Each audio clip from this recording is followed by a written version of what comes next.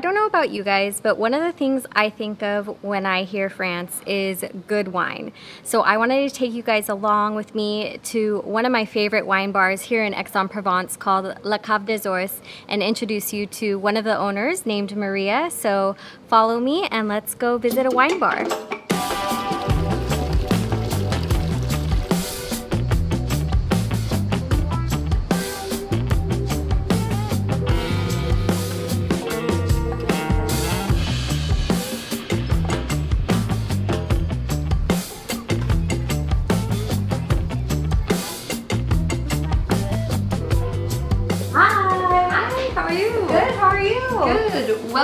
Cave des Ours. I'm Maria.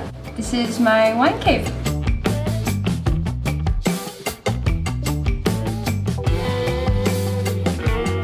So I ended up in the south of France because my husband is from here. Uh, Romain is from Owen, which is just about 40 minutes from Aix-en-Provence. And we actually lived and worked and traveled together for about six years in other countries, including Canada, Australia, and New Zealand. And then we wanted to start a project together. And we thought to ourselves that it would be much easier to start a business of our own if we were near a better support system, example family. And I'm from Ohio, so when the option was Ohio or Provence, obviously I chose Provence. so we moved here, we got married, and we started this project. He is a total wine nerd. Like, he always has his nose in books or he's checking reviews. He would do blind tastings with his friends, like always going to like all of the wine shops trying to find the best stuff, things that was really interesting to him. And we also both started getting more and more into natural wine. He looked at me one day and he said, what if instead of a craft beer bar, we open a wine shop? And I said, yeah, that would be good, but what am I gonna do? because I've always worked in bars and restaurants and cafes, so I felt like my mm, strengths wouldn't really be useful just as a caviste in, in France. So I said to him, okay, we can be a wine shop, but can I have a bar too? and so we decided that actually a natural wine shop works really well with having a bar side because when you have clients who don't really understand the difference between conventional, organic, biodynamic, and natural wines, which are all kind of different, it's really good to be able to let people taste and I really like the the sharing situation where you're at the bar and I can come and I can bring you something and I can talk to you about it and I can explain it to you and then you can ask questions and it really helps to educate our customers more because natural wine is a really big thing in France in general but not everywhere. So we were happy to to be that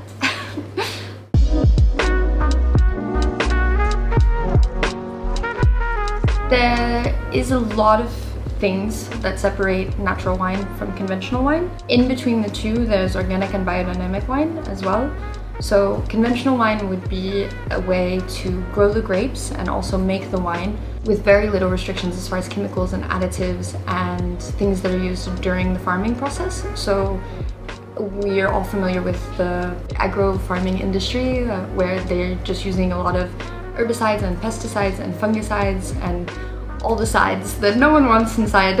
um, so conventional wine can be grown like this and then there's actually, um, and this is really good, there's over 300 yeasts that can be selected from laboratories to use in the wine. There's over 49, 50 additives that you can use as well. So that would be like, let's say I have a, a vineyard anywhere in France, it doesn't matter, but I really want my wine to taste like a Bordeaux.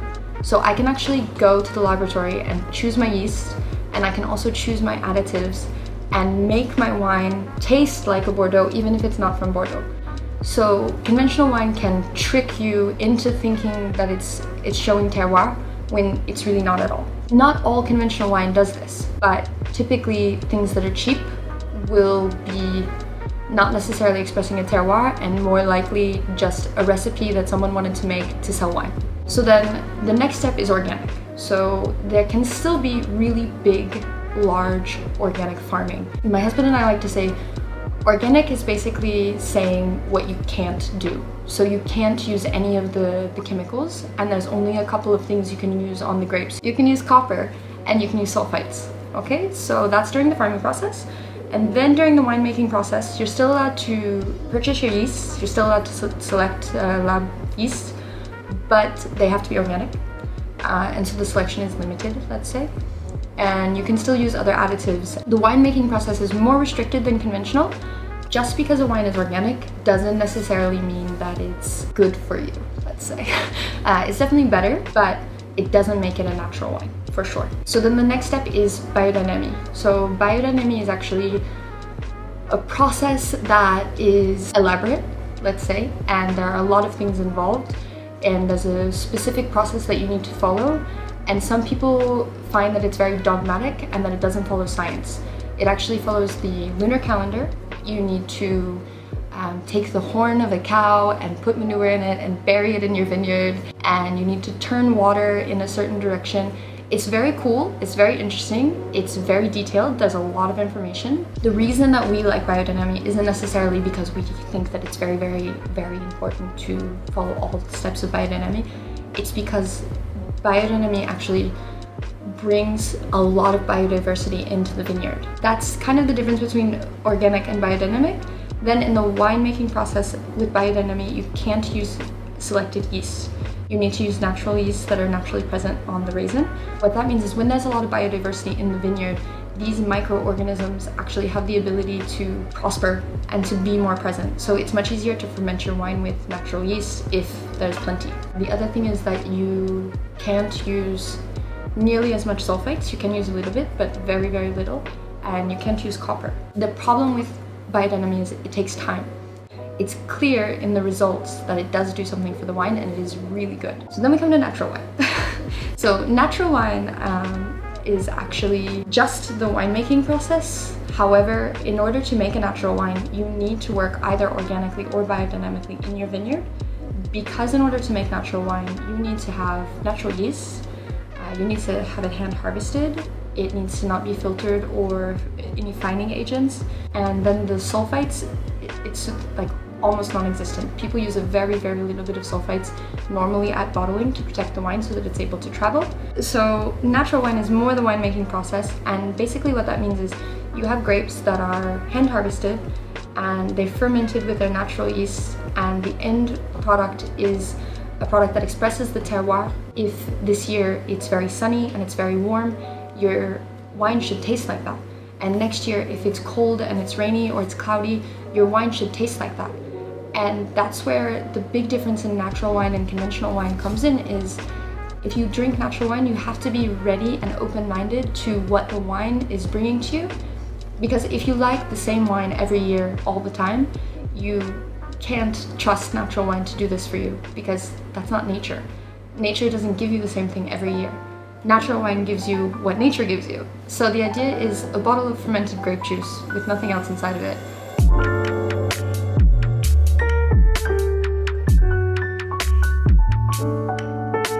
So this is a winemaker that's actually in Bordeaux, which is an area that's really hard to find natural wine because there's so many conventional farmers.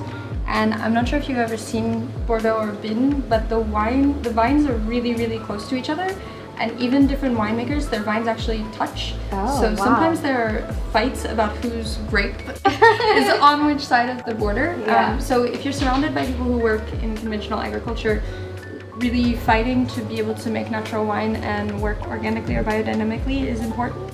Uh, so this wine is actually certified uh, by Biodyvin, so it's uh, biodynamic and certified organic. This is one of his more interesting things. Mm -hmm. So he's actually used the Fille Gris is the cepage, which we don't really hear of anymore because it's a cepage that's from Bordeaux. And he's let it macerate for a few weeks with the skin contact on and you end up with this lovely golden refreshing so refreshing pretty. I love it.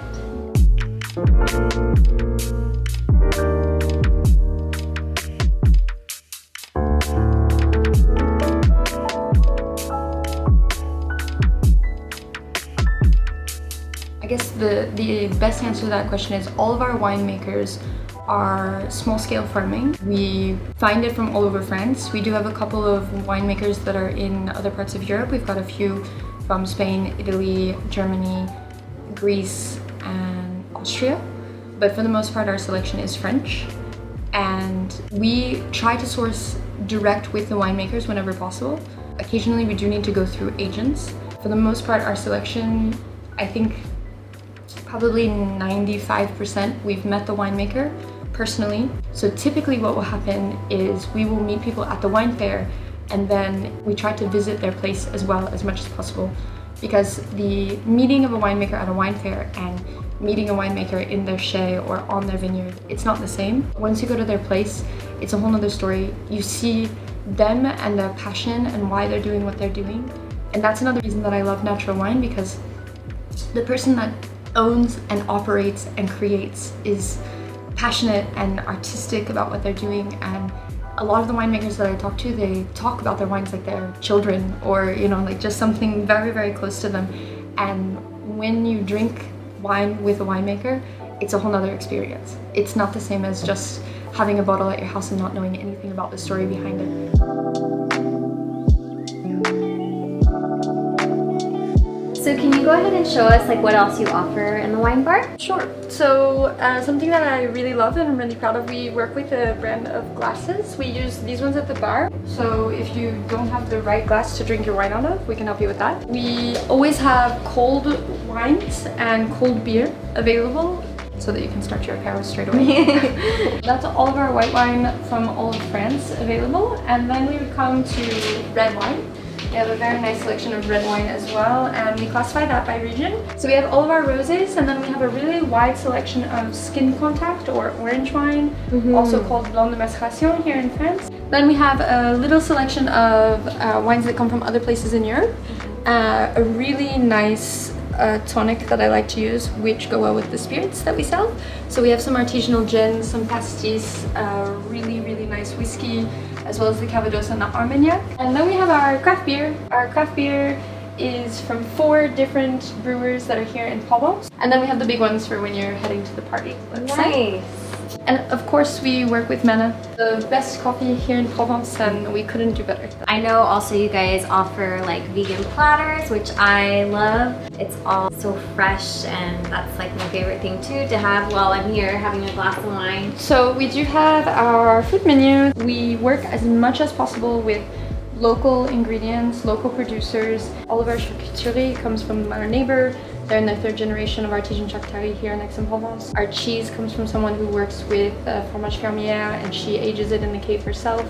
Oh, wow. We have our, our vegetables. I actually have a primeur in Aubagne who works with local farmers, mm -hmm. let's say. So I, I get all of the veg from there. Always fresh ingredients. The idea of my menu is simple. Simple ingredients that taste great with good wine. For me, my place is more a place to come with your friends and share and enjoy just a little bit of things while you enjoy wine right. rather than a pretentious meal yeah. that needs a, a big pretentious bottle.